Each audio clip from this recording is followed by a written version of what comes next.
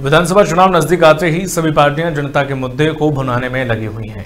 सभी राजनीतिक दलों की यही कोशिश है कि ज़्यादा से ज़्यादा जनता के बीच अपनी पैठ बढ़ाई जा सके। इसके लिए सभी राजनीतिक पार्टी ज़ोर आजमाइश में लगी हुई हैं और इसी कड़ी में आम आदमी पार्टी के जिला अध्यक्ष राजीव सिंह के नेतृत्व में आम आदमी पार्टी के कार्यकर्ताओं ने सांसद जनार्दन मिश्रा के आवास का घेराव किया।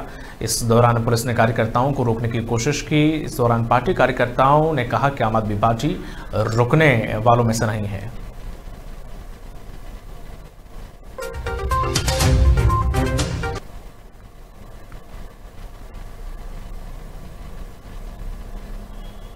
रोज़गार देंगे। दो करोड़ रोज़गार देने की बात तो दूर की रही।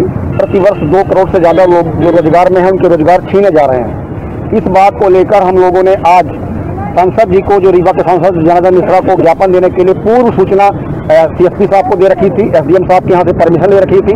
और जनार्दन मिश्रा जी का जो कार्यालय है, जो ऑफ़िस है उनका, वो सिविल लाइन में बना रखा है उन्होंने। और सिविल लाइन में वो आम जन की शिकायतें सुनते हैं, उनका निदान करते हैं और वाहवाही लूटते हैं कि मैं अपने कार्यालय में बैठकर जनता की समस्याएँ सुनता हूँ।